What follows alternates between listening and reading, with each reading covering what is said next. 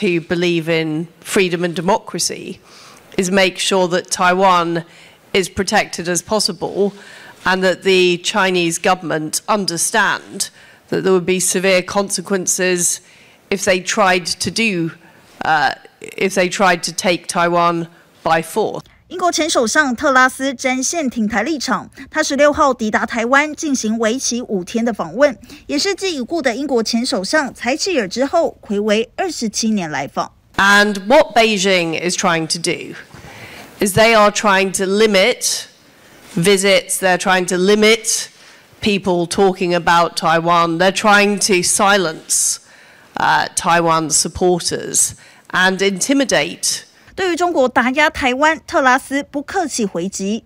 We need to stand up to that bullying. 特拉斯维持一贯挺台力道，让中共再度爆气。环球时报评论员胡锡进在推特上开呛，说特拉斯担任英国首相时任期最短，台湾是下台西方官员的博物馆。不过这番话被网友打脸，说中国连一个当选或任期最短的总理和首相都没有。中国不止打压台湾的国际舞台，加剧台海紧张局势，另外在南海的扩张野心，让菲律宾气得找美国来撑腰，美菲联手要。堵住中国威胁。不过有消息传出，中国正进行黄岩岛的填沙作业，要打造第四个不沉航母。